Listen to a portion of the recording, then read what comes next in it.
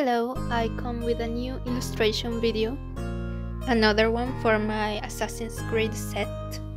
And it will be just a time lapse since I just didn't have time to record something else. So I'm working on the letter V. And the title is V is for Venice. And I'm doing an illustration of Ezio from Assassin's Creed 2 in Venice. So there's this part in the game where he goes to the carnival in Venice and that's what I wanted to illustrate. It's a night scene and I want to give the illusion that there's a lot of things going on in the background. A lot of movement, a lot of colors. I say the illusion because I made it so he is covering most of the frame. I don't want to spend too much time on the background.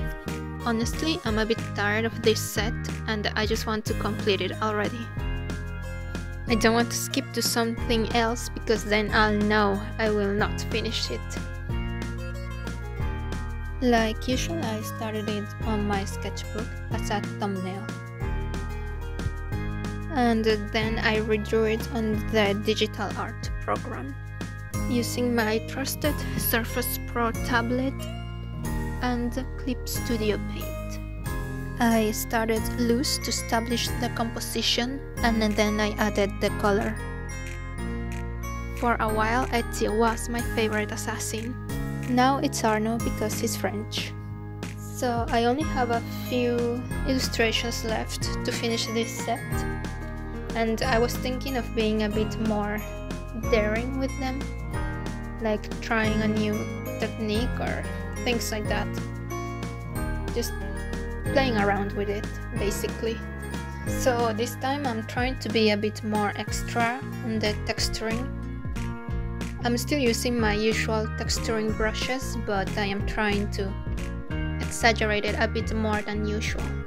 I want it to look like it has a base layer of opaque paint and then I went over it with some pencils you know that kind of textured look of pencils and color pencils on it.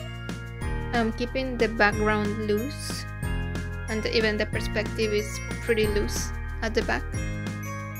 And I just want to keep all the focus on Ezio so all the little details will be on him all the little details and all the variation in values I'm adding a lot of colors and uh, confettis just to give the ambience of like a party at night, since it's carnival after all. Also flipping the canvas to make sure that I can spot some mistakes that I couldn't see on the other way. I don't know if you can see it, but I decided to use black with that pencil brush to give that look of a pencil texture on it, like doing some black lines around the form of the character. Here is the final look after adding the text. This was a short video, but that's okay, right?